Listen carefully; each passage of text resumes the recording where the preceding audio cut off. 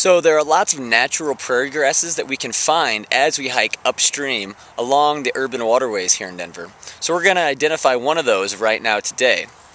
This grass right here, where all the seeds are leaning off to one side, like that, is called brome. B-R-O-M-E. One way to remember this is that it kind of sounds like broom, and because all the seeds are off to one side, it kind of looks like a little hand broom. So whenever you see seeds that are all hanging off to one side, you can lean to one side and say, Bro!